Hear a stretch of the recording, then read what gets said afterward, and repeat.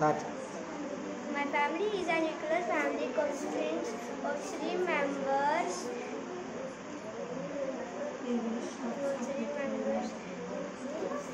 My parents, my father, my mother, and myself. For the past three decades, we have been living in Kutlahadi village.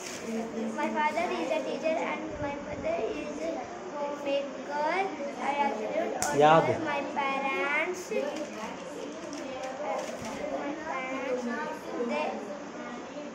Their motivation. I respect my parents a lot. A lot of. I everything.